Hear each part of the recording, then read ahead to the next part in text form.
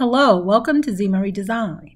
Let's create an adjustable strap boho purse. So let's get started.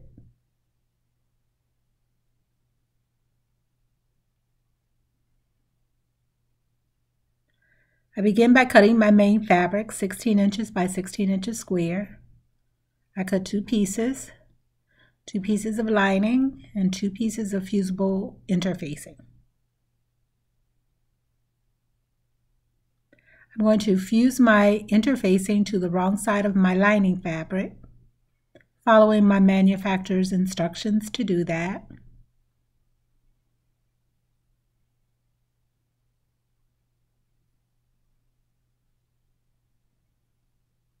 Once that's done, I'm going to cut out my corners. They're two inches by two inches, and I'll do, I'll box those corners later in the project. I'll fold my fabric in half to press the center crease. Down my center crease, I'm going to measure for my magnetic snap and for my pockets. I'll leave a link in the description so you can get a closer look at, um, so you'll know how to insert these magnetic snaps. I measure down that center crease one and a half inches for the magnetic snap 3 inches for the pocket. To insert my magnetic snap, it comes with a washer with two slits. I'm going to mark those slits right on that center and I'm going to snip them and to insert the prongs on the magnetic snap. I'll do this on both sides of the lining.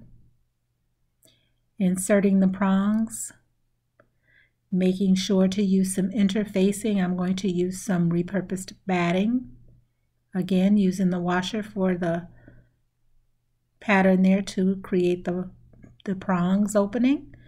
Press them to one side, your magnetic snaps have been, been inserted.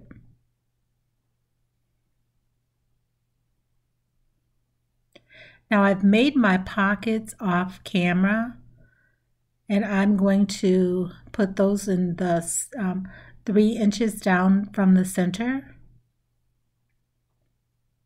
To make sure that my pockets are center, I'm going to fold them in half and I'm going to crease those down the center with my top stitching at the top.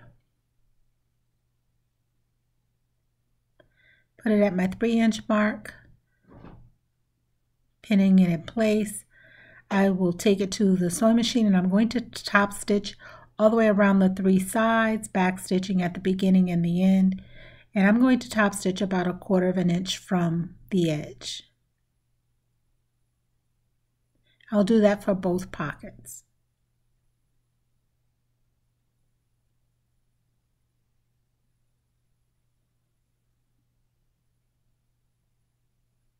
My pockets have been sewn on, my magnetic snaps have been inserted. I'm going to now put my lining together, right side spacing,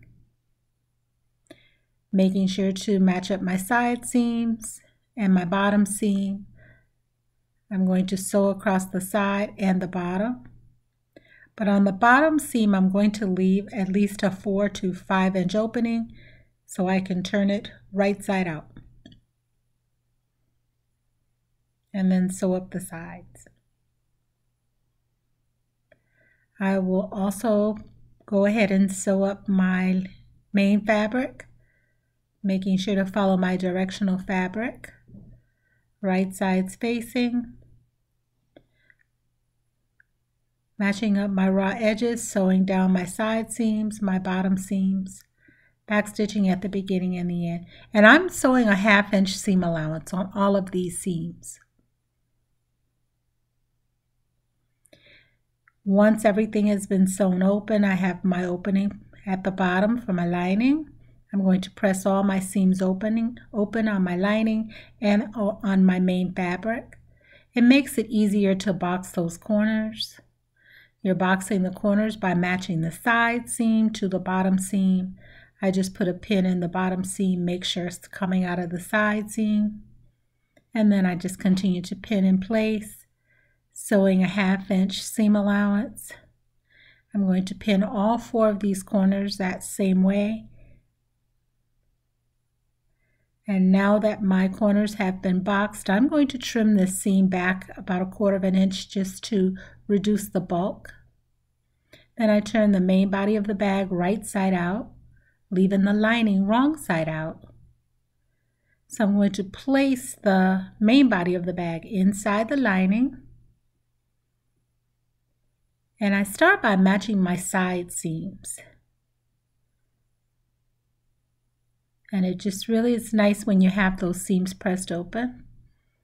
I match the side seam, I match the center crease marks, and then I will continue to pin all the way around the purse at the top, matching the raw edges. And I'll sew a half inch seam allowance all the way around. My seam allowance has been sewn. It's time to pull the bag right side out through the lining opening that you've left.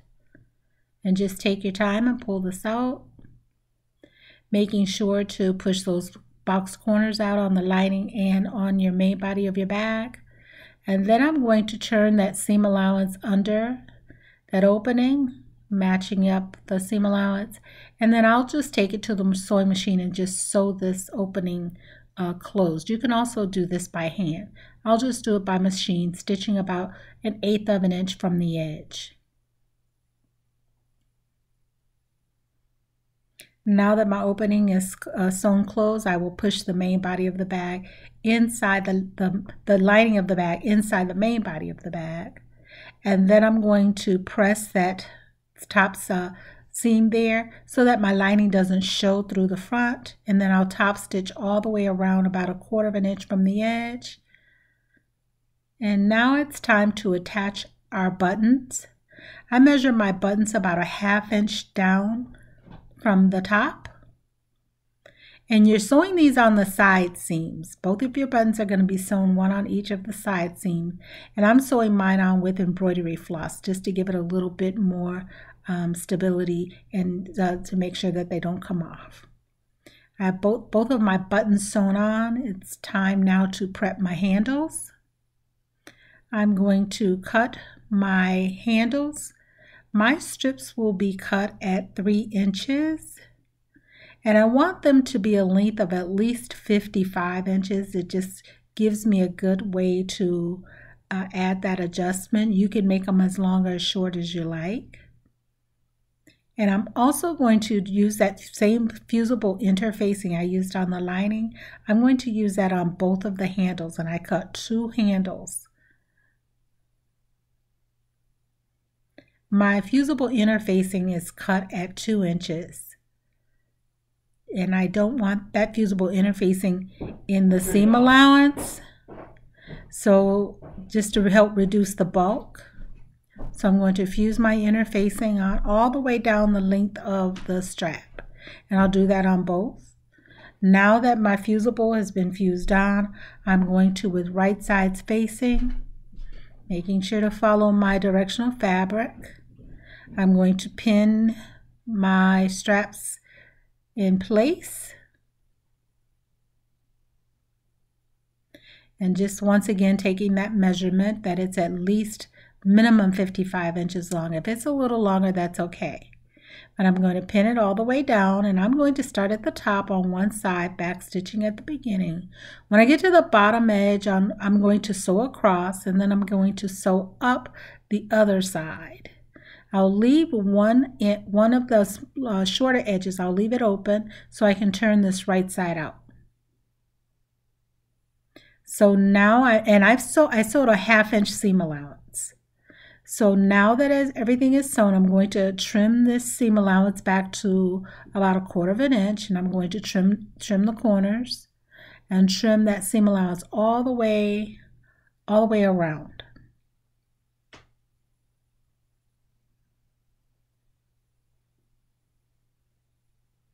Now I'm going to turn this right side out. One side is already sewn um, through, so I'm going to start at that end. And I have this tube turner that I'm going to use. I'm going to press my tube, uh, start my fold to turn it right side out, put my, my tube inside, put my other tube inside that one. That'll help me to push it through. It takes a little bit to get it going, but once it gets going, it does work. You can also just use a skewer. You can use the handle of a wooden spoon, whatever you have on hand. Now that it's turned right side out, I'm going to give it a good press. I'm going to turn under that seam allowance about a, about a half of an inch. And I'm going to use a pin to help me pick out the other ends of my seam uh, of that corner just to try to make it as crisp as I possibly can.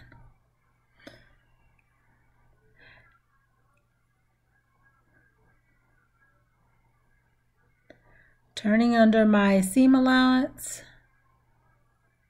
I'm going to pin it in place and then I'll take it to the sewing machine and I'm going to top stitch all the way around this, uh, this handle about a quarter of an inch from the edge.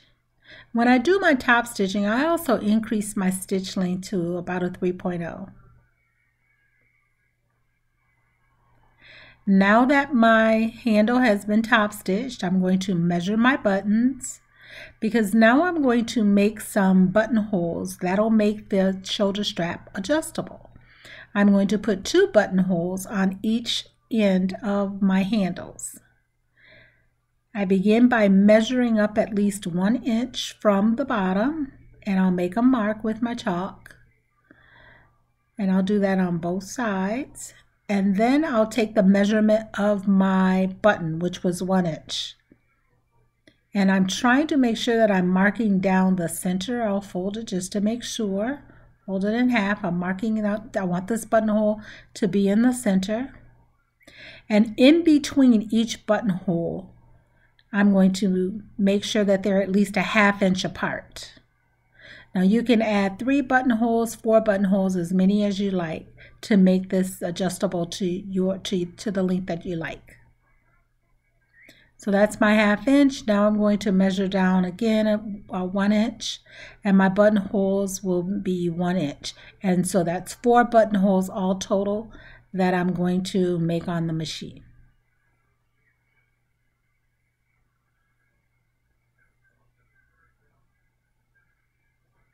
My buttonholes now have been made on my sewing machine. I'm going to now open those up with my seam ripper. I'm going to put a pin at the top of the buttonhole and then I'll start with the seam ripper uh, at the bottom of one and then I will just seam rip all the way up through the center of the buttonhole but I know I'm not going to go through that buttonhole because the pin is going to stop me so I know then I won't tear through I'll open all my buttonholes. And I also, I put fray check on those buttonholes after I open them up. And now my shoulder strap is adjustable. And this is what the inside looks like. Now you can make this this a reversible purse if you like, just uh, by not putting the, the magnetic snap on there. You can put a button on, on that part too in the center or not put any closure on it. And it'll be a total reversible adjustable strap boho purse. But I really like this project and I hope you give it a try. And I will make sure to list these on my Etsy shop and I will leave a link in the description to my Etsy shop. So thanks for watching.